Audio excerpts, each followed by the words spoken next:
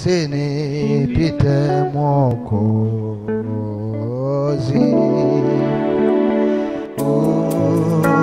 unisikie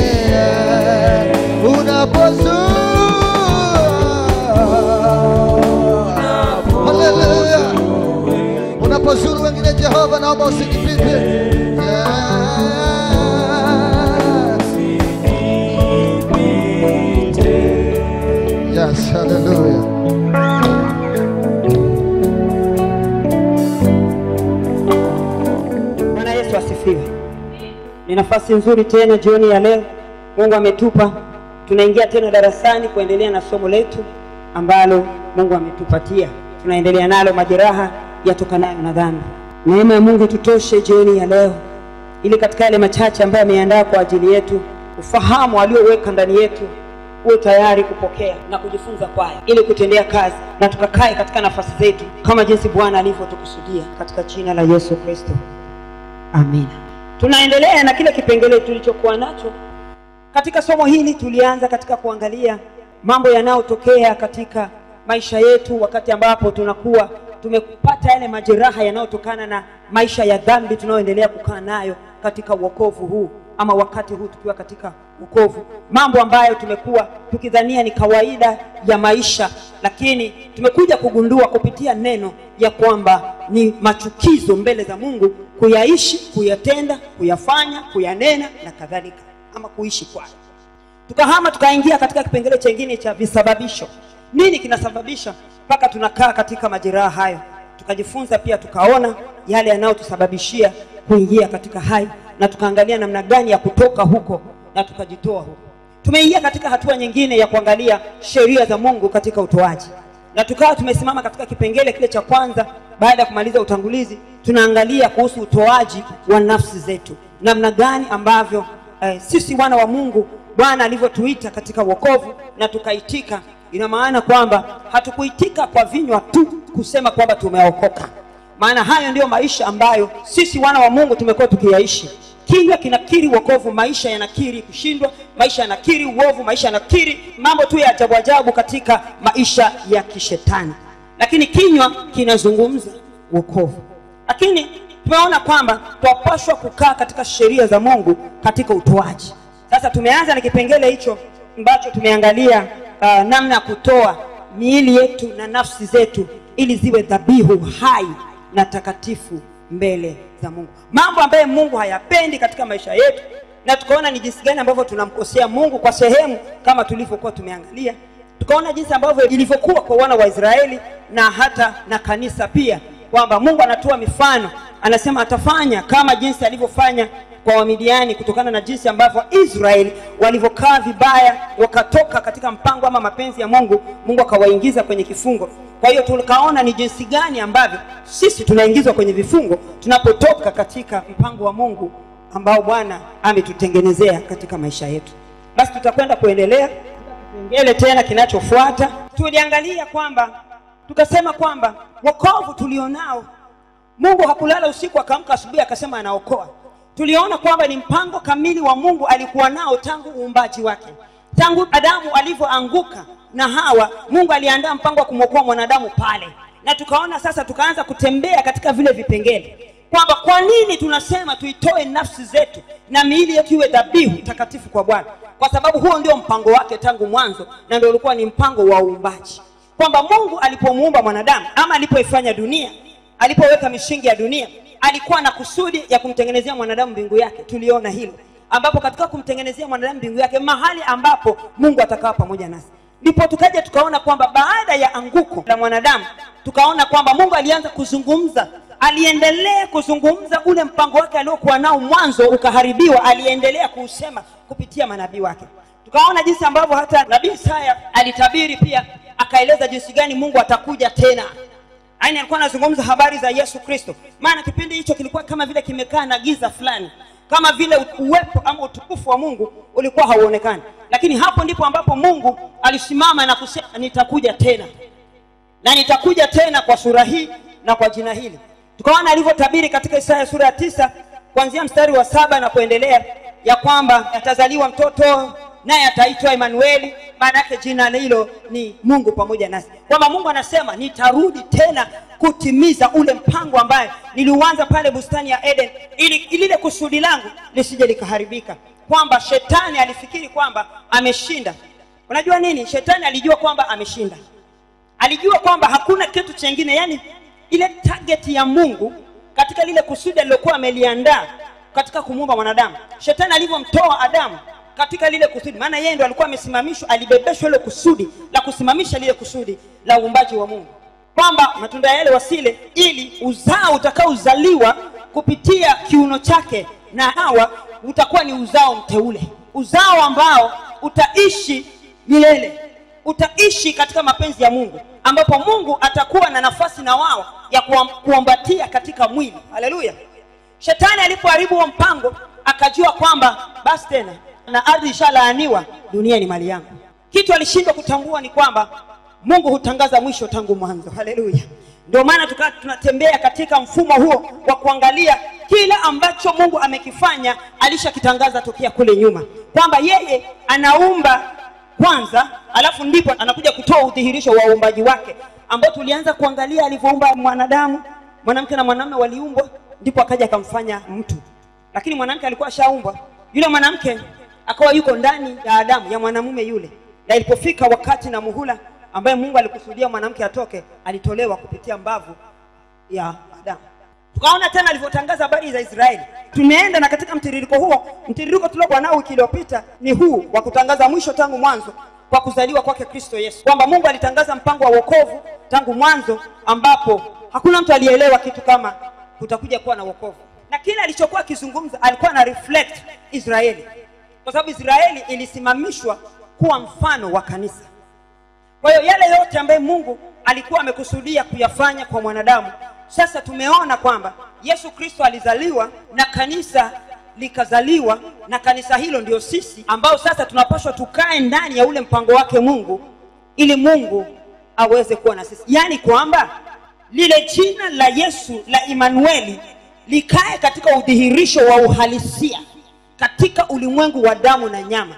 Kwamba mungu akae pamoja nawe josephina mungu akae pamoja na wewe francis. Mungu akae pamoja na wewe chali mungu akae pamoja na wewe dada. Mungu akae pamoja na wewe mika na akae pamoja na mimi. Kwa maana sasa imanueli kwamba sasa tuondoke katika ule wokovu wa kutamka kwa kinywa na miili yetu ikiwa imegawanyika. Lakini tuingie sasa katika ule uhalisia wa mpango wa mungu juu ya mwanadamu. Kwa sababu tunapoingia katika uhalisia huo ndio tunakuwa tumekubali kurudi kwenye mpango wa mungu wa uumbaji wake katika kitabu cha mwanzo. Ndio maana nikasema kwamba katika yote ambayo mungu amekuwa akifanya ama anayoyafanya hata sasa hakuna jipya chini ya jua. Na mfalme sulemani akasema hakuna jipya lolote. Ni kwamba mungu yuko katika ule mduara kama nilivyowaonyesha siku ile yuko katika mduara wa kutekeleza lile kusudi lake kulirudisha pale pale. Lakini sasa ndio biblia inatuambia kwamba kwa mungu miaka elfu ni kama siku moja. Kwamba haijalishi itachukua muda gani karne ngapi kuutimiza ule mpango wake aurudishe kwenye ule uhalisia wa lile kusudi lake haijalishi. Lakini kinachotakiwa ni kwamba ule udhihirisho uweze kutokea.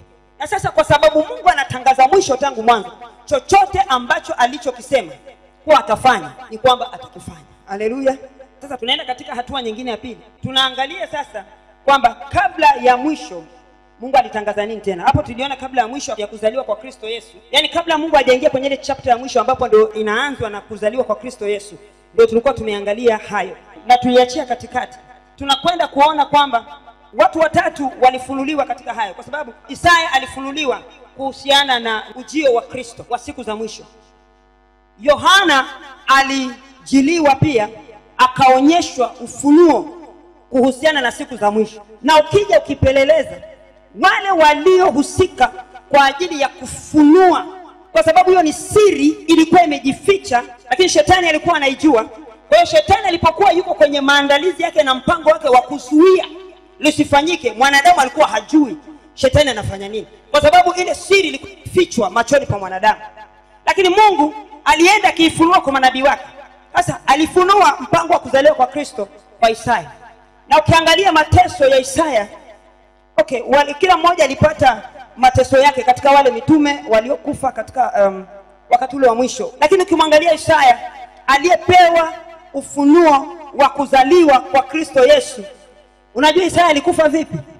Ndio maana nasema kwamba sasa hivi hebu turudi katika ule mpango wa mungu tunaposema kwamba tunakaa kwa ajili ya bwana ama tunataka kuishi kwa ajili ya bwana ama tunamtumikia mungu tukae kwenye ile seriousness ya kumtumikia mungu. Yaani tumaanishe na ndo kujitoa. Maanake tuko kwenye ile sheria ya mungu ya kujitoa. Hawa isaya alitoa mwili wake kwa sababu ilipofika mwisho wake hakukubali kupingana na ule unabii ambaye bwana aliutoa kwake. Unajua alikufa vipi? Tunafahamu alikufa vipi? Isaya alitundikwa hivi juu. Walitengeneza ka, nini hivi? Kama vile ya kuchinjia ng'ombe. Sijui ni mbao ama nini nguzo. Zikafungwa akafungwa miguu yake kaning'inizwa juu. Unaujua msumeno wa kukata miti mnaona? Ule ndio msumeno ulimkata isaya. Ukamkata vipande viwili. Wao unaonaje hapa? Unaonaje hapa? Mimi nikisoma hapo mimi mwenyewe nasikia kama ndio mwili wangu unakatwa. Nusu hivi kiwiliwili kakatwa nusu. Tupa huku tupa huku. Akitakiwa tu akane lakini akasema siko tayari. Siko tayari. Nitasimama katika kile ambacho bwana amesema. Haleluya. Huo ndo utumishi. Huko ndo kujitoa. Tunakosema sheria ya mungu katika kujitoa. Mungu anakupa kitu anakubebesha amana. Kwa maana shetani hawezi kukufata kama hauna kitu. Eh? shetani anatufuatilia kwa sababu anajua tumebeba hazina ndani yetu. Haleluya. Kwa hiyo katika hazina tuliyoibeba shida yake ni kubwa hiyo kwamba anataka ile hazina isije ikatokea katika ulimwengu wa damu na nyama. Yaani udhihirisho wake usije ukatokea. Kwa hiyo wewe uliobeba ndio unakuwa victim. Amina. Amina. Wokovu wa leo na watu wa leo wanayakimbia hayo. Kama huwezi kusimama katika hayo kukabiliana na hayo funga kinywa chako na usimtangaze kristo. Bwana yesu asifiwe sana. Maana unaposimama kwa ajili ya kumtangaza kristo jua kabisa kwamba utakutana kama sio hayo yanayofanana na hayo. Haleluya yanayofanana na hayo tutakutana naye isaya alikatwa jinsi unavyoona msumeno unawekwa kwenye mti. Ndio ulipita kwenye mili wake haleluya lakini leo tunafika mahali pa kucompromise tunapoona vitu vya namna hiyo vinatokea alafu tuna tunakimbia hiyo tunakwepa alafu tunaenda kule mbele tunasema haleluya bwana yesu asifiwe sana bwana yesu asifiwe sana kwa hiyo isaya alisimama kwa ajili ya kuleta ufunuo wa mungu kurudi duniani mara ya pili kuja kukaa na wanadamu kama alivyosema. Ndio maana sasa sasa hivi katika wokovu mungu anakaa na sisi. Alivyosema Emanueli, Mungu pamoja na sisi. Sasa kwenye wokovu ndio Mungu pamoja na sisi, alafu ndio sasa mimi nashangaa. Mungu pamoja na sisi, lakini nafsi yako bado umeikamata mwenyewe, mwili wako bado umekamata mwenyewe, haujaweza kumpatia Mungu nafasi katika mwili wako na nafsi yako, yaani haujakubali kujitoa moja kwa moja kwa ajili yake, haujakubali kulipa gharama, kubeba uzito. Ah kubeba ule uzito ukaondoa thamani yako ukaiweka pembeni ukamtanguliza kristo kwanza ukasema liwalo na liwe wewe ndio nimekupa nafasi ya kwanza. Ya kwangu acha ibaki nyuma. Unajua tunapofanya hivyo wewe unapompa yeye nafasi ya kwanza anasema aha wao wamenipa mimi nafasi ya kwanza. Mimi nakupa wewe nafasi ya kwanza. Kwa hiyo inakuwa nipi huo ndio upendo. Bwana yesu asifiwe sana. Unafanya alafu yeye anaangalia ulivyofanya naye anasema na mimi nitafanya. Haleluya. Ndio maana ninawaambia kwamba tunamtafuta mungu sana. Sijasema tusimtafute mungu. Kuna mambo mengi tunamtafuta mungu kwayo lakini tunamtafuta mungu sana kwa ajili ya mambo ambayo hatupashwi kumtafuta kwayo mambo ambayo tunamtafuta nayo mungu yanapashwa watu wa mataifa ndio wamtafutie mungu kwa namna hiyo. Maana wale hawana mungu wa kweli haleluya leo kanisa ndio linamtafuta mungu ampatie mkate na blue band. Inakuja kweli? We we unakaa kwenye nyumba ya mfalme alafu kisha unazunguka kule kwa wafanyakazi unawaomba nendeni kule bwana mkamwambia baba anipatie mkate. Ni sawa sawa hiyo? Kanisa ni sawa? Chale ni sawa? Sio sawa. Sio sawa. Kumbe kuna mahali tumeshindwa kukaa pale mahali kwenye sheria yake ya kujitoa. Pale unapoachilia nafsi yako. Tulisoma ile warumi sura ya kumi na mbili tukasoma mstari wa kwanza tukasoma na wa pili. Tunaambua tujitoe nafsi zetu kwake. Tuwe ibada takatifu kwake. Hapo mahali ni pagumu sana na ni mahali ambapo ni parahisi sana wakati ambapo mtu umefanya maamuzi. Ambapo leo hii watu hawako tayari kufanya maamuzi haya mimi mimi nilikuwa ni mmoja wapo. ninachosema na wewe leo ni kitu ambacho mimi nilikuwa sidhani kwamba inaweza ikawa. Kwangu nilikuwa naona kama hekaya za abunuwasi kwa sababu nilikuwa sielewi kwamba mungu anaweza akafanya kitu. Nilikuwa sielewi kwamba mungu anaweza kweli akafanya. Nilikuwa sielewi. Lakini nataka kusema nini? Mungu huyu aliyekuja kwa isaya. Isaya huyu huyu ambaye mwanzoni alikuwa nabii akitabiri akifundisha akisema habari za mungu lakini alikuwa mchafu. Huyu huyu isaya. Siku mfalme uzia alipokufa ndipo alipomwona bwana. Ndio maana mimi nasema tunapoishi katika mwili na sisi tumeokoka tukashindwa kuitoa nafsi zetu kwa mungu ukubali usikubali. Ukubaliane na mimi usikubaliane na mimi nafsi yako kuna mahali imekamatwa na shetani. Ina maana kuna mahali lazima ukapatafute hapo palipokamatwa mahali ambapo panakuzuilia wewe kujitoa kwa ukamilifu kwake. Kuna mahali umekamatwa. Sio rahisi kukubali lakini kuna mahali nafsi hiyo imekamatwa. Isaya alikuwa amekamatwa lakini siku vilivyoondolewa vile vilivyokuwa vinazuia akaiona mbingu imefunguka. Akamwona bwana amekaa kwenye kiti chake cha enzi. Akasema he mimi bwana nimekuona. Fikiria yeye ni nabii amekuwa anamtumikia mungu lakini sio hiyo mungu anauliza ni mtume nani? Wewe unaonaje hapa? Wewe uko hapo ni mtumishi wake alafu bado mungu anauliza sasa ni mtume nani? Na maana hakuoni wewe si ndio? Hiyo ndio sura kanisa inatembea nayo leo. Kwa sababu kuna mahali ambapo panasababisha tunashindwa kuonekana mbele za mungu. Mungu ni mungu mwenye wivu. Nilisema ile siku ya ijumaa mungu ni mungu mwenye wivu. Na hali alionayo hataki shirika na shetani. Yaani hilo kanisa namba moja lazima tufahamu. Tuache hii mambo ya blabla kwamba unafikiria utaweza kukaa hivi alafu mungu ataweza akamezea. Mungu amezeaje? Haleluya. Mungu hamezei. Anatembea katika sheria zake.